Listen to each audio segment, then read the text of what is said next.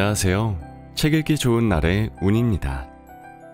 오늘 소개할 책은 조선 왕실의 사랑과 욕망, 그리고 갈등. 어쩌면 당신이 원했던 조선 갈등사. 지은이는 신정훈, 발행은 북스고입니다. 이 책은 22만 명의 구독자를 보유한 역사 유튜버 아 그래 역사 이야기 채널이 쉽고 재미있게 풀어낸 색다른 조선 이야기인데요. 지루하고 딱딱한 역사 이야기가 아닌 그들의 인간적인 모습과 그 안에서 일어나는 갈등에 주목하고 아 그래만의 스타일을 듬뿍 담은 표현들로 더 쉽고 재미있게 500년 조선을 한 권에 소개하고 있습니다. 우리는 사극 같은 역사 드라마는 재미있게 보면서 책이나 공부를 위해서는 역사가 지루하고 재미없다고 생각하는데요. 이는 역사를 이해보다는 암기로 인식하기 때문입니다. 저자는 이런 오해를 해소하고자 역사 속 인물들의 행보를 함께하며 그들이 왜 그렇게 갈등을 빚게 되었는가를 집중적으로 바라보며 조선의 흐름을 따라갔습니다. 또한 조선왕조실록의 역사적 사료들을 있는 그대로 보여주기보다는 독자들의 이해와 흥미를 높이고자 저자만의 해석을 더하여 표현하였기에 이전에는 보지 못한 색다른 조선 이야기를 만날 수 있습니다. 태조 이방원은 왜 무자비한 킬러가 되었을까? 한글 창제의 주역 세종은 왜 며느리들을 내쫓았을까? 충격적인 세종의 며느리들, 사랑꾼인 성종의 사랑은 왜 변했을까? 임진왜란의 영웅, 광해군은 왜 폭군이 되었을까? 평생 한 여자만 바라보고 사랑했던 순정파, 정조 등 이 책에서 역사 유튜버 아그레가 들려주는 사극보다 재미있고 그동안 보지 못했던 어쩌면 당신이 원했던 조선의 이야기가 있습니다. 자, 그럼 지금부터 잠시 책 속으로 들어가 보겠습니다. 오늘도 책 읽기 좋은 날과 함께 즐거운 시간 되세요. 구독, 좋아요, 알림 설정은 사랑입니다.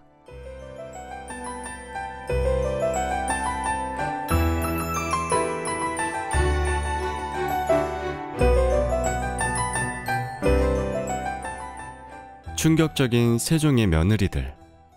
조선시대의 태평성대를 꼽자면 단연 세종시기였음에 틀림없다. 냉혹한 친부 이방원이 행한 외척 및 공신의 숙청을 통해 강력한 왕권이 만들어졌고 세종은 그 덕에 흔들림 없이 왕위에 오를 수 있었다. 또한 심성이 어진 그는 언제나 백성들만을 생각했으며 하루에 잠자는 5시간을 제외하고 모든 시간을 업무에 열정을 쏟았다. 이에 한글 창제뿐 아니라 과학, 예술, 문화, 국방 등 많은 분야를 발전시킨 위대한 세종이었다. 또한 고기만큼이나 여성들에게도 남다른 애정을 보였던 세종은 중전 소헌왕후 심씨 이외에도 다섯 명이 후궁을 들였고 모두에게서 22명의 많은 자식을 낳은 타고난 정력가였다. 어쩌면 그래서 고기를 유달리 사랑했던 것일까? 놀랍게도 한 번 사랑하면 끝까지 버리지 않는 사랑꾼이어서 그런지 그 많은 부인들이 질투 한 번 하지 않고 좋은 사이를 유지했다. 이처럼 모든 방면에서 타고난 성군의 모습을 보인 세종. 그러나 그도 피해갈 수 없었다. 할아버지와 아버지가 자식에게 받았던 고통을 세종은 살아서도 죽어서도 받게 된다. 1414년 세종과 소원왕후 사이에서 적장자인 이향이 태어났다. 어렸을 때부터 성품이 곱고 누구에게나 사랑받는 인물로 성장한 이향은 8살의 나이에 왕세자로 책봉되었다. 또한 아버지를 닮아 학문을 무척이나 좋아한 인물이었다. 그렇게 30년간 세자로서 아버지 세종을 열심히 도와 조선 초기 태평성대를 이루었다. 그런데 이런 완벽한 아들에게도 한 가지 흠이 있었으니 그건 바로 경악을 금치 못할 이향의 부인들이었다. 소방맞은 첫 번째 며느리. 유독 아내복이 없었던 세자 이향은 충격적인 이유로 장가를 세 번이나 가야 했다. 그가 처음으로 맞이한 아내는 나름 뼈대 있는 가문의 휘빈 김씨였다. 세자빈이 된 축복의 행복한 나날을 꿈꾼 김씨. 그런데 웬걸? 이 양은 무슨 이유에서인지 좀처럼 아내를 찾는 일이 없었다. 첫날 밤을 치른 후로 단 한 번도 그녀의 침수에 들르는 일이 없었던 것이다. 어느 부인이든지 간에 남편에게서 관심과 사랑을 받지 못하면 부부의 정을 걱정해 조바심이 나기 마련이다. 김 씨는 차가운 남편의 모습에 점점 불안에 떨었고 외로움은 날이 갈수록 깊어져만 갔다. 어찌해야 남편의 사랑을 얻을 수 있을는지. 큰 고민에 빠진 김 씨는 한 시녀를 불러다 남편의 사랑을 받는 술법에 대해 알려달라 요청했다. 그러자 시녀가 대답했다. 먼저 남편이 좋아하는 여자의 신을 잘라다가 불에 태워 가루로 만드세요. 그런 다음 그것을 술에 타 남편에게 먹이면 사랑을 한 몸에 받게 될 것입니다. 이런 기발한 술법에 올커니를 외치며 곧장 방문을 뛰쳐나와 남편이 아끼는 두 명의 궁녀들의 신을 몰래 훔쳤다. 신속히 그 신을 불에 태우고 술에 타는 치밀한 계획을 완벽하게 마친 김 씨였다. 그런데 젠장, 김 씨는 잊고 있었다. 이향은 그녀의 방을 절대 들르지 않는다는 사실을. 부인이 남자에게 사랑을 받는 술법을 묻기에 모른다고 대답하였으나 주빈께서 강요함으로 비가 드디어 가르쳐 말하기를 남자가 좋아하는 부인의 신을 베어다가 불에 태워서 가루를 만들어 가지고 술에 타서 남자에게 마시게 하면 내가 사랑을 받게 되고 저쪽 여자는 멀어져서 배척을 받는다 하오니 효동, 금덕 두 시녀의 신을 가지고 시험해 보는 것이 좋겠습니다. 하였다 했는데 효동, 금덕 두 여인은 김씨가 시기하는 자이다. 세종실록 45권 세종 11년 7월 20일 갑자 세 번째 기사 아니 방에 들러야 술이라도 먹이는데 당최 아무리 기다려도 오지 않으니 야심차게 준비한 계획이 실패로 돌아갈 판이었다. 그래도 김 씨는 포기하지 않았다. 무조건 남편의 사랑을 얻겠다는 불굴의 의지를 다지며 시녀에게 다음 술책에 대해 물어보았고 시녀는 어쩔 수 없이 답했다. 뱀 암수가 짝짓기 할 때 흘린 정액을 수건으로 닦고 그것을 몸에 차고 있으면 남편의 사랑을 얻을 수 있습니다. 세종실록 45권 세종 11년 7월 20일 갑자 세 번째 기사 다시 한번 올커니를 외치며 뱀들을 찾아 나선 김씨. 하지만 유감스럽게도 신발을 도둑 맞은 궁녀들이 세종에게 김씨를 일러 바치면서 이 사건의 전말이 들통나게 되었다. 어이가 없는 세종은 뜻밖의 결정을 내린다. 남편의 사랑을 받고자 한 행동들이었지만 세종은 왕실의 권위를 떨어뜨린 세자빈의 행동을 용서하지 않았다. 아들 이항 또한 그녀를 비호하는 모습을 보이지 않았고 결국 세종은 며느리 김씨를 가차없이 내쫓아버렸다. 남편의 사랑을 갈구하다 그만 세자빈의 자리에서 쫓겨나게 된 것이다. 안타깝지만 어찌됐든 세종은 또 다른 며느리를 들여야 했다. 이번엔 심혈을 기울여 세자에게 어울리는 여인을 간택했고 김 씨가 쫓겨난 지 3개월 뒤 두 번째 며느리를 맞이했다. 그러나 세종은 차라리 첫 번째 며느리가 더 나았다고 땅을 치며 후회하는 모습을 보일 줄은 꿈에도 몰랐다.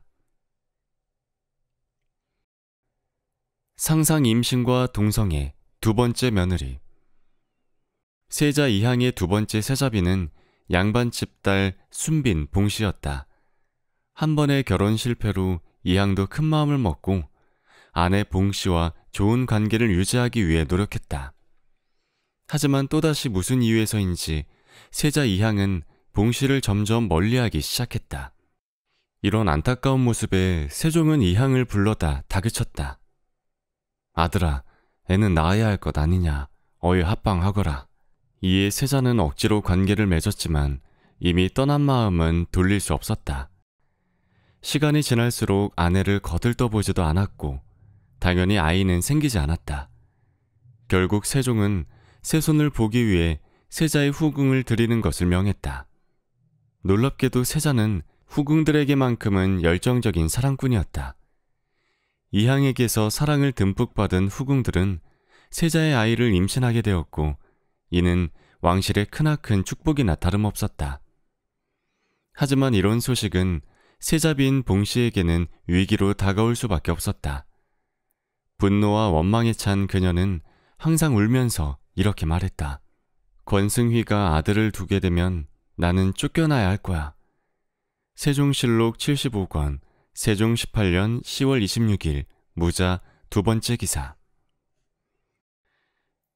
이를 들은 세종 부부는 마음이 좋지 않았다. 남편의 관심을 받지 못하여 서글프게 우는 며느리가 안타까워 세종 부부는 세자에게 다시 합방을 권유하였다. 그렇게 세자는 봉씨와 몇 번의 동침을 시도했는데 어느 날 봉씨가 아이를 잉태했다는 소식이 전해졌다. 당연히 정실 부인에게서 낳은 아이가 더 귀했기 때문에 기쁨에 사무친 세종은 며느리를 각별히 대우하도록 명했다. 하지만 안타깝게도 한 달 뒤 침울한 표정을 한 봉씨가 아이를 유산했다며 이렇게 말했다. 단단한 물건이 형체를 이루어 나왔는데 지금 이불 속에 있습니다. 그런데 여기서 더 충격적인 것은 늙은 궁녀를 시켜 확인해 보았지만 이불 속에는 아무것도 보이지 않았다. 이 모든 것이 거짓말이었던 것이다. 봉씨가 또 스스로 말하기를 낙태를 하였다고 하면서 단단한 물건이 형체를 이루어 나왔는데 지금 이불 속에 있다고 하므로 늙은 궁궐 여정으로 하여금 가서 이를 보게 했으나 이불 속에는 아무것도 보이는 것이 없었으니 그가 말한 임신했다는 것은 거짓말이었다. 세종실록 75권, 세종 18년 10월 26일 무자 두 번째 기사. 그래도 세종은 며느리를 내칠 수 없었다. 이미 첫 번째 며느리를 폐출시켰기에 두 번째 며느리마저 내친다면 그것은 왕실의 수치였다. 그래서 점차 봉 씨가 술 마시고 깽판을 치며 미쳐가도 참고 또 참아왔지만 결국 그녀를 퇴출시킬 수밖에 없는 사태가 벌어지고 만다. 어느 날 궁궐에서 뜻밖의 소문이 돌기 시작했다. 봉 씨가 밤마다 한 여종과 잠자리를 같이 한다는 것이었다.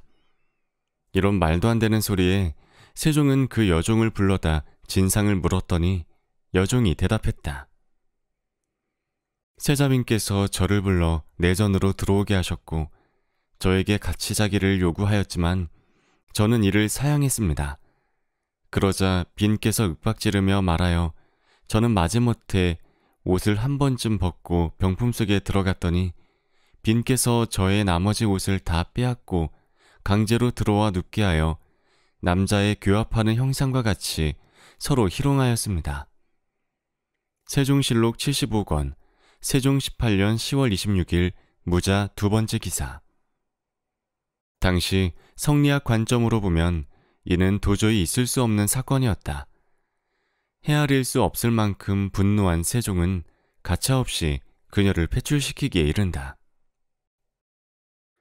그렇게 두 번째 세자빈 봉씨마저 남편의 사랑을 갈구하다 결국 파멸의 길로 접어들었다. 폭군이 된 임진왜란의 영웅 광해군 조선왕조 역사에 폐위되어 복권되지 못한 임금은 단 둘이 있다. 한 명은 극악무도한 악행을 저지른 연산군, 그리고 다른 한 명은 바로 광해군이었다. 이 둘은 조선왕조 실록에도 실록이 아닌 일개 기록으로 남겨졌는데 어쩌다 임진왜란의 영웅 광해군이 연산군과 같은 폭군으로 변모한 것일까?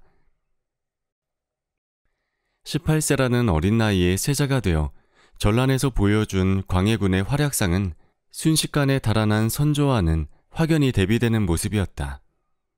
그가 왕이 될 때 어느 누구도 그의 자질을 의심하지 않았다. 34살에 즉위할 때도 그를 향한 백성들과 신하들의 기대도 한껏 부풀어 있었다. 즉위 초 광해군에게 주어진 과제는 임진왜란으로 박살난 국가 재정과 민생을 복구하는 데 있었다. 그는 과거부터 논의된 대동법을 실시했다. 대동법은 그때까지 거둔 특산품을 토지세로 걷는 제도로 토지가 없던 백성들의 부담을 줄여주는 효과가 있었다. 물론 경기도 지역에 한 해 실시되던 대동법을 전국적으로 확대하자는 신하들의 주장에 그가 반대하기는 했지만 어쨌든 광해군 시기에 처음으로 실시됐다는데 의미가 있었다. 무엇보다 그의 능력은 외교적인 측면에서 크게 발휘되었다. 어느덧 세상은 변해가고 있었다. 대륙을 지배하던 명나라는 힘이 약해졌고 만주의 여진족이 세운 후금이 새롭게 부상하고 있었다. 전장을 누빈 세자 시절의 경험이 있었던 탓인지 광해군은 무조건적으로 명나라를 섬겨야 한다는 신하들과는 달리 후금의 힘을 무시해선 안 된다고 판단했다. 그렇게 명나라와 후금의 싸움에 말려들지 않고 중립적인 위치를 지키며 신리를 얻는 중립외교 정책을 펼쳤다. 그런데 이게 끝이었다. 유감스럽게도 아버지의 장점인 인재를 보는 안목과 뛰어난 정치력을 담지 못했다. 오직 아버지의 의심병과 치졸한 성격만 물려받은 것이다. 광해군을 지지하는 대북파가 집권하게 되자 반대파였던 서인, 남인, 그리고 영창대군의 소북파 인물들은 차례로 제거되기 시작했다. 왕실의 피바람이 불기 시작한 것이다. 세자 시절 전장을 누볐던 성군의 모습은 온데간데 없이 무자비한 학살자로 변모했다. 자신의 마음에 들지 않으면 칼을 빼들었고 그의 칼날은 가족도 피해갈 수 없었다. 우선 그의 친형 이매구는 상당히 거슬리고 짜증나는 존재였다. 애초에 이매구는 개차반 성격과 망나니 행동 때문에 장자였음에도 세자 자리에 오르지 못했는데 그래서인지 광해군을 향한 질투가 이만저만이 아니었다. 그런 형이 왕권에 위협이 된다고 판단한 광해군은 왕이 되자마자 유배를 보낸 뒤 목숨을 빼앗게 된다. 물론 이것은 시작에 불과했다. 그 누구보다 왕권을 위협하는 이가 존재했다. 바로 아버지의 사랑을 듬뿍 받은 이복 동생 영창대군.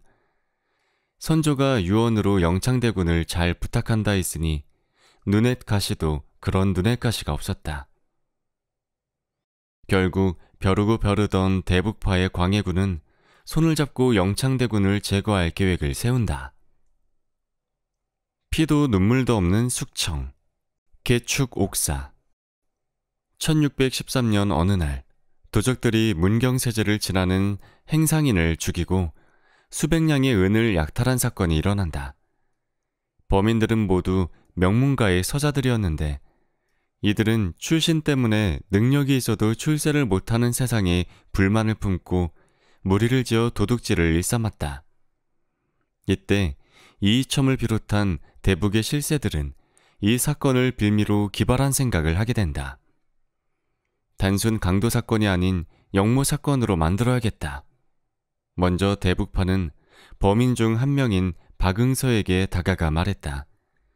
면죄해 줄 테니까 내가 하라는 대로 해라.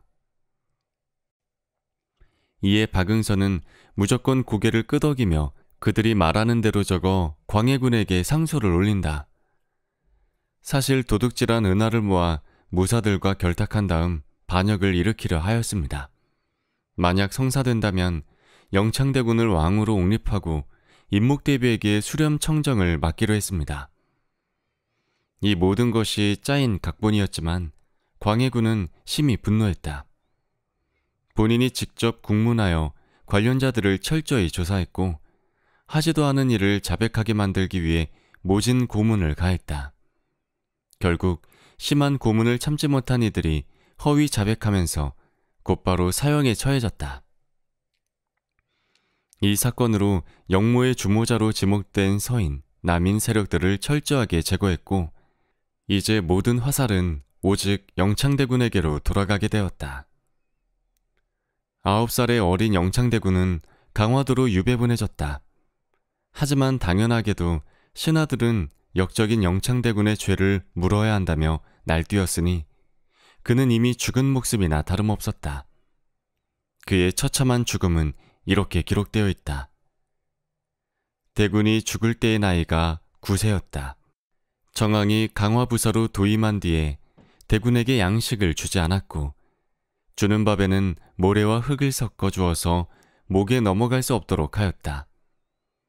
읍안의 한 작은 관리로서 영창대군의 위리를 수직한 자가 있었는데 불쌍히 여겨 몰래 밥을 품고 가서 먹였는데 정왕이 그것을 알고는 곤장을 쳐서 내쫓았다. 그러므로 대군이 이때부터 밥을 얻어먹지 못하여 기력이 다하여 죽었다. 어떤 사람이 말하기를 정왕은 그가 빨리 죽지 않을까 걱정하여 그 온돌에 불을 떼서 아주 뜨겁게 해서 태워 죽였다. 대군이 종일 문지방을 붙잡고 서 있다가 힘이 다하여 떨어지니 옆구리에 뼈가 다 탔다고 하였다. 지금도 강화도 사람들은 그 말을 하면서 눈물을 흘리지 않는 사람이 없다. 광해군 일기 중초본 74권 광해 6년 1월 13일 병인 다섯 번째 기사 아들의 비참한 죽음 앞에서도 아무런 힘을 쓰지 못한 임목대비는 눈물로 밤을 지새워야 했다. 물론 임목대비 또한 광해군에게 심히 거슬리는 존재가 아닐 수 없었다. 그래서 5년 뒤 자신의 계모임에도 불구하고 그는 임목대비를 폐위시켜 서궁에 유폐시켜 버린다. 이처럼 개축년에 일어난 사건, 개축옥사가 끝이 난 뒤 대북파의 반대 세력이 완전히 제거되면서 대북파가 권력을 독점하게 된다. 이 시기부터 광해군의 의심병 증세는 더욱 심해졌다. 대북파 내에서도 시도 때도 없는 숙청을 자행했다. 나라를 위한 인재에는 쥐뿔 관심도 없었고 자신의 입맛에 맞는 무능한 간신들만 등용했으니 당연히 그들의 부정부패와 매관 매직으로 나라는 개판이 되어갔다. 무엇보다 그의 가장 큰 문제는 밑도 끝도 없는 미신병이었는데 이로 인해 고통을 떠하는 백성들마저 광해군에게 등을 돌리게 된다. 광해군은 전란의 피해를 극복하기 위해 노력해야 했던 임금이었다. 하지만 그는 이렇게 생각했다. 왕실의 위엄을 드높이기 위해선 궁궐 공사가 필요해. 물론 궁궐이 전쟁 중에 다 타버렸으니 당연한 일이었다. 그런데 문제는 정도가 심해도 너무 심했다. 대규모 궁궐 공사를 위해서는 무지막지한 비용이 투입되어야 했고 특히 백성들이 강제로 동원되어야 했다. 그것도 자신이 거처할 궁궐 하나만 있어도 충분했을 텐데 하나가 다 지어지기 전에 또 새로운 공사를 시작하는 것을 반복하여 15년 동안 무려 다섯 번이나 실시했다. 궁궐 공사에 지나치게 집착한 원인은 단순했다. 의심병과 미심병. 광해군은 점쟁이를 가까이 하며 무한한 신뢰를 주었고 풍수학자가 이쪽 풍수가 좋다면 이쪽에 저쪽이 좋다면 저쪽에 쉴 새 없이 궁궐을 지어댔다.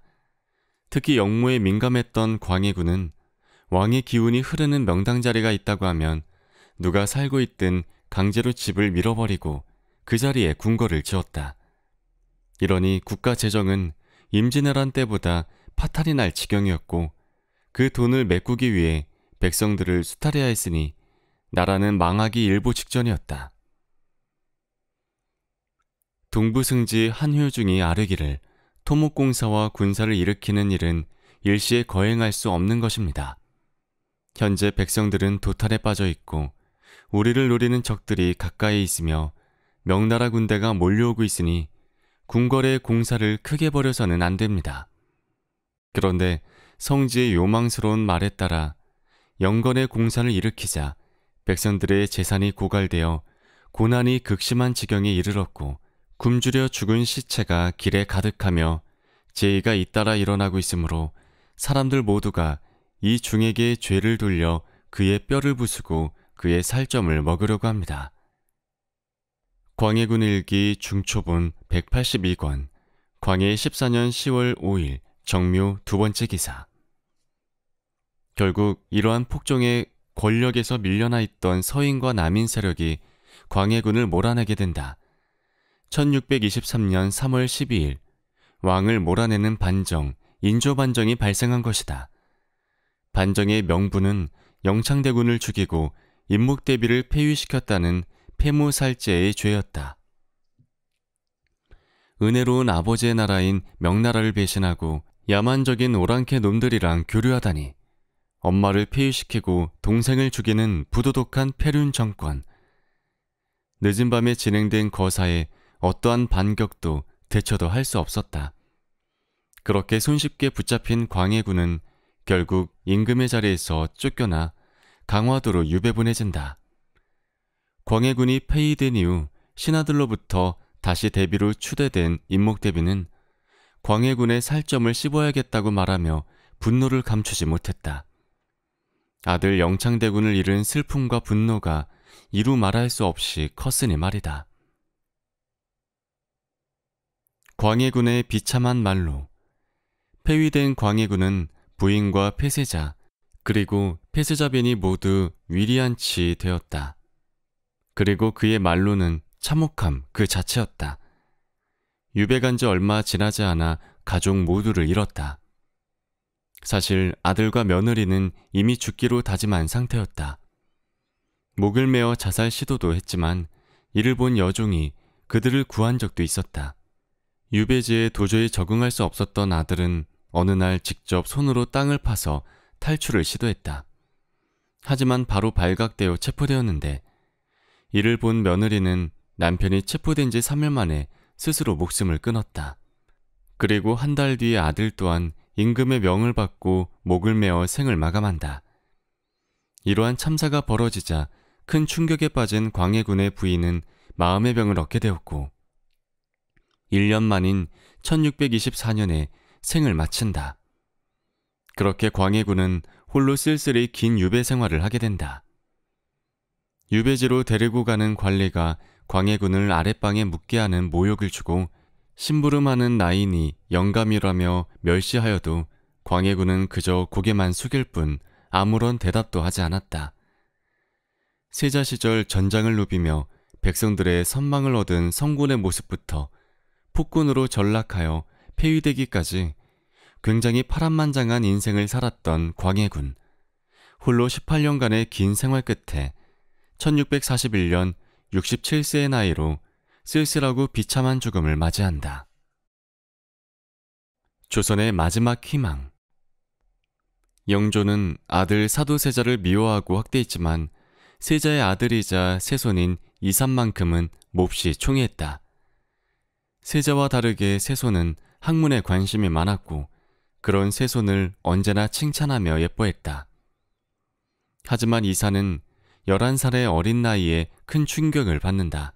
아버지인 사도세자가 할아버지 영조에 의해 처참하게 죽는 이모 화변을 두 눈으로 보았기 때문이다. 아버지가 뒤주에 갇히기 전 눈물로 애걸하며 제발 아버지를 살려달라고 부탁했지만 결국 그는 아버지의 죽음을 막지 못했다. 역적의 아들은 왕세손이 될 수 없었다. 그래서 영조는 이산의 호적을 사도세자가 아닌 죽은 효장세자의 양자로 삼아 왕통을 잇게 했다. 세손의 자리를 유지한 이사는 흔들리지 않았다. 아버지의 죽음을 봐서인지 그 누구보다 학문에 힘썼고 영조가 바라는 완벽한 차기 임금의 모습을 보였다. 더럽게 깐깐한 영조가 한 번도 혼내지 않았을 정도였으니 이사는 그야말로 엄친아 모범생이었다. 이모 화변 이후로도 영조는 세손과 함께 무려 14년간 전국을 다스렸다. 그러다 1776년 83세의 고령의 나이로 영조는 생을 떠난다. 역대 임금 중 가장 장수한 왕이었다. 그렇게 이사는 할아버지의 뒤를 이어 왕위에 올랐다. 그가 바로 정조였다. 정조는 즉위하자마자 자신의 즉위를 반대했던 척신들을 모조리 척결했다. 그리고 나타난 리더십으로 조선의 꽃을 피우기 시작했다. 탕평책을 실시하여 신하들을 고루 등용했고 규장각을 설치하여 인재들을 모았으며 문화적인 통치로 나라를 다스렸다. 또한 왕권 강화를 위해 장용영을 설치하여 군권을 장악하는 등 어떠한 위협에도 흔들리지 않을 완벽한 군주의 모습을 갖춰나갔다. 하지만 이런 강인한 그에게도 세상이 무너질 듯한 시련이 찾아왔다. 바로 사랑이었다. 평생 한 여자만 바라보고 사랑했던 순정파, 정조. 정조는 왕세손이었던 시절에 11살의 나이로 세손빈을 맞이했다. 하지만 그는 세손빈에게 관심을 두지 않았다. 일찍이 마음이 갔던 한 여인이 있었기 때문이다. 바로 성덕임. 궁녀였던 덕임은 어렸을 때부터 정조의 어머니 해경궁 홍씨의 예쁨을 받으며 자라왔다. 그녀와 자주 마주쳤던 정조는 마음속에 사랑이라는 감정을 품기 시작했다. 그러다 4년이라는 시간이 흘러 15살이 되자 공식적으로 후궁을 들 수 있게 됐다. 정조는 당연하게도 망설일 것도 없이 덕임에게 쏜살같이 달려가 말했다. 나의 후궁이 되어줘. 하지만 웬걸, 덕임은 울면서 얘기했다. 아직 세손빈께서 아이를 낳지 못하셨으니 저는 후궁이 될 수 없습니다. 참으로 영특했던 덕임은 세손빈이 자식을 낳는 것이 우선이라 생각했다. 그렇게 목숨 걸고 왕세손의 승은을 거절한 것이다. 약간 당황했지만 그래도 정조는 그녀의 깊은 뜻을 이해하고 받아들였다. 시간이 흘러 정조는 왕위에 등극하고서도 좀처럼 자식을 얻지 못했다. 그동안 왕실에서 간택된 정비 효의 왕후와 후궁 화빈 윤씨, 원빈 홍씨가 있었지만 혹시나 자식을 낳는 기능에 문제가 있는 것이 아닌지 자식 없는 것은 앞날의 종사에 큰 걱정으로 다가왔다. 그래서 또다시 후궁을 드리려 할 때 갑자기 정조가 이렇게 다짐했다. 내가 사랑하는 여인을 후궁으로 두겠다. 그 사랑하는 여인이 바로 15년 전에 본인을 찾던 성덕임이었다. 정조는 다시 그녀를 찾아가 고백했다. 나의 후궁이 되어줘. 덕임은 또다시 울면서 말했다. 거절합니다. 어찌하여 사랑을 받아주지 않는 것인지 두 번째 거절당하자 정조는 이제 성질이 났다. 그녀를 포기할 수 없음에 제대로 삐뚤어진 정조는 덕임의 하인들을 혼내기 시작했다. 그제야 덕임은 뜻을 굽히고 정조의 마음을 받아들였다. 드디어 꿈에 그리던 사랑을 이룬 정조. 다른 여인들은 다 내쳐두고 오로지 덕임을 향한 무한한 사랑이 시작됐다. 그 어느 때보다 열정적으로 사랑을 듬뿍 주었고 놀랍게도 덕임은 바로 아이를 가지게 되었다. 안타깝게도 두 번의 유산이 있었지만 1782년에 결국 그녀는 아이를 낳게 된다. 그토록 기다리던 첫 왕자였다. 사랑하는 여인이 그것도 바로 귀한 왕자를 낳아주니 정조는 더할 나위 없이 행복했다. 이때 31세라는 나이엔 적지 않은 나이였던 정조는 이렇게 기뻐했다고 전해진다. 궁인 성씨가 태중이더니 오늘 새벽에 분만하였다. 종실이 이제부터 번창하게 되었다. 내 한 사람의 다행일 뿐 아니라 머지않아 이 나라의 경사가 계속 이어지리라는 것을 확실히 알 수 있으므로 더욱더 기대가 커진다. 후궁은 임신을 한 뒤에 관작을 봉하라는 수교가 이미 있었으니 성씨를 소용으로 삼는다 하니 신하들이 경사를 기뻐하는 마음일 아뢰었다. 임금이 이르기를 비로소 아비라는 호칭을 듣게 되었으니 이것이 다행스럽다. 정조실록 14권 정조 6년 9월 7일 신축 첫 번째 기사 아들은 바로 원자 칭호를 받게 되었으며 이때 덕임은 의분으로 칭해져 의빈 성씨로 불리게 된다. 하지만 오히려 덕임은 본인을 향한 정조의 사랑이 부담스러웠고 걱정이었다. 그동안 역사를 보면 궁중 여인들의 암투가 치열했고 심지어는 죽고 죽이는 끔찍한 사태도 빈번했다. 그러나 덕임은 달랐다. 정조의 정비 효의왕후를 지극히 모셨고 효의왕후 또한 덕임을 많이 의지하며 지냈다. 자신 때문에 정조와 효의 왕후 사이가 점점 멀어져 가는 것이 마음에 쓰였다. 그래도 별 수 있을까? 순정파 정조의 일편단심 그녀를 향한 마음을. 이후에도 덕임은 바로 임신하여 딸을 낳았지만 유감스럽게도 아이는 일찍이 생명을 잃는다. 정조는 큰 슬픔에 빠진 그녀를 위로하며 세 살의 어린 원자를 세자로 책봉했고 그가 바로 문효 세자였다. 아직 정비가 살아있고 충분히 후사를 볼 수 있는 나이였다. 그럼에도 후궁의 자식을 세자로 책봉한 것은 정조가 진심으로 그녀만을 사랑했음을 의미했다. 이때까지 정말 정조에겐 꿈 같고 행복한 나날이 가득했던 시기임에 틀림없다. 그러나 야속하게도 이 사랑은 해피엔딩이 되지 못했다. 자신의 전부를 잃어버린 정조. 때는 1786년 왕실에서 엄청난 비극이 발생한다. 문효세자가 다섯 살이 되던 해에 홍역에 걸려 갑작스럽게 죽게 된 것이다. 너무나도 귀하고 사랑하던 아들이 본인의 곁을 떠난 사실을 정조는 믿을 수 없었다. 목 놓아 울며 아들의 죽음을 애통했다. 하지만 아들의 죽음에 더 큰 충격을 받은 이는 덕임이었다. 원래부터 마음이 여렸던 그녀는 정신적으로 큰 타격을 받았으며 하루도 빠짐없이 눈물로 나날을 지새워야 했다. 심지어 당시 덕임은 임신한 상태였기에 몸 상태가 급격히 쇠약해졌다. 이런 상황에서 정조는 사랑하는 여인마저 떠나보낼 수 없었다. 항상 그녀 곁에 머물며 간호했고 그녀에게 들여오는 약은 모두 직접 검열하며 그녀를 지켰다.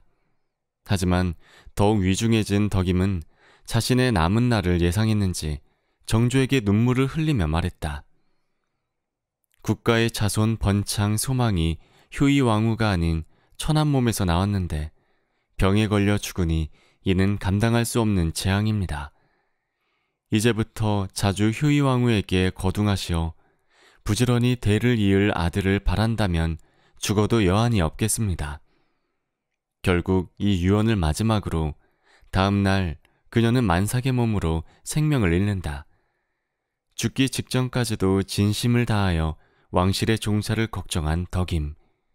어찌 이런 현명한 그녀를 정조가 잊을 수 있을까? 정조는 사랑하는 덕임을 위해 직접 어제 비문을 썼다. 후궁의 묘비에 직접 임금이 쓴 것은 유일한 일이었다. 그녀를 잃은 그의 고통과 슬픔은 이렇게 표현되어 있다. 아, 너의 근본이 굳세어서 갖추고 이루어 빈궁이 되었거늘 어찌하여 죽어서 삶을 마치느냐. 지금 이 상황이 참 슬프고 애통하고 불쌍하구나. 평상시 화목하게 지냈건만 내가 나를 떠나 죽고 말았으니 너무 애달프고 슬프다. 내가 다시 살아나서 이승으로 돌아오기를 기대한다. 이 한 가지 그리움이 닿아서 내가 굳세게 이룬다면 내가 다시 이승으로 돌아와서 궁으로 올 것이다. 나아가 느끼면 매우 마음이 아프다. 너는 무효세자의 어머니다. 내가 임신을 해서 낳은 아이가 무효세자이며 내 후계자다. 세자는 이미 두 살 때 그를 깨우쳤다. 너의 근본이 단단해서 임신을 했는데 아이를 낳지 못하고 죽었다. 무효세자가 죽은 후 셋째가 되어 다시 우리 곁에 찾아올 줄 알았건만 하늘과 땅은 오히려 사이를 더 떨어뜨려 놓았다. 이로써 마음 한가운데가 참 슬프고 애가 타며 칼로 베는 것처럼 아프다. 사랑한다. 참으로 속이 탄다. 내가 죽고 나서 나와 헤어졌다. 나는 비로소 너의 죽음을 깨달았다. 어렵게 얻은 아들 무녀세자를 하늘에 견주어 돌아오길 바랐으나 너는 멀리 떠났다. 나는 무릇 지나고 나서 깨달았다. 너를 데려올 방법이 없고 다른 사람을 보내 물리칠 방법도 없다. 이로써 느끼니 참 슬프고 애달프다. 앞전에 겪은 일과 비교해도 비교할 게 없을 만큼 슬프다. 나는 저승도 갈 수 없다. 너를 생각하면 애통하고 슬프도다. 너는 진짜 이승을 떠나는구나. 사랑하는 너는 어질고 아는 바가 많고 총명하고 슬기롭고 밝고 이치를 훤히 알고 옳고 예절을 아는 사람이다. 또 권세를 능히 삼가하고 도리를 지킬 줄 알고 나눌 줄 알았다. 너는 무녀세자를 잃었을 때는 예를 다하며 울었고 쉬지도 못했고 눈물도 그치지 못했다. 너는 너의 뱃속에 있는 아기를 위해서 무녀세자의 죽음을 슬퍼하는 내가 잘못될까봐 걱정돼서 돌려보냈다. 그런데 너의 목숨은 어찌 이리 가느라탄 말이냐. 이제 나는 무릇 중요한 일을 접고 너의 장례를 치러서 살필 것이다. 무녀세자의 옆에서 편히 쉬어라. 아들의 무덤에서 멀지 않게끔 아들과 어머니가 좌우에 있도록 할 것이다. 어제 빔은 중에서